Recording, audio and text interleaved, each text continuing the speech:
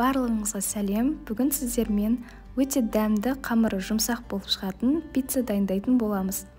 Видеоны міндетті түрде соңына дейін қараңыздар және жаңа рецепттерді жіберіп алмас үшін каналыма тіркеліп қоңыраушаны басып қойыңыздар. Қамырына қажетті заттар су тұз қант дрожь сұйық май және ұн. Ең алдымен ыдысқа жылы суды құйып үстіне тұз қант дрожь салып жақсылап араластырамыз.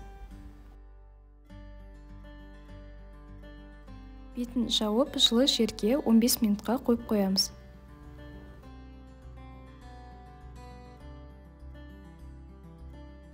Одан соң сұйық май қосып араластырып ұнымызды қосып жұмсақ қамыр илейтін боламыз.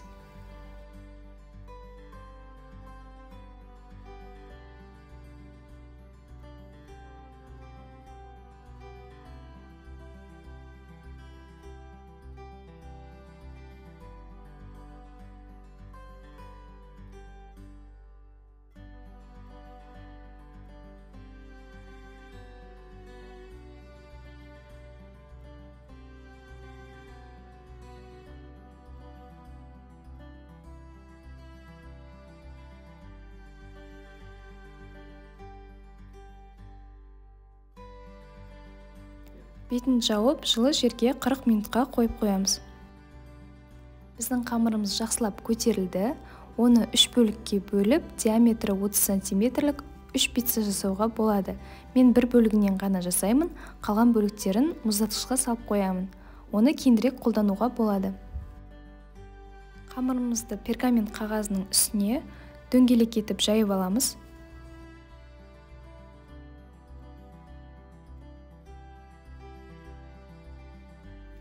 Шетіне қолымызбен осындай бортики жасап шығамыз. Салмасына қосатын заттар кетчуп майонез сарымсақ қызанақ болгар бұрышы аскөк ірімшік және кептірілген зелень. Кетчуп пен майонезге бір сарымсақ қосып үстіне кептірілген зелень қосып араластырамыз. Содан соң қамырдың бетіне жағып шығамыз.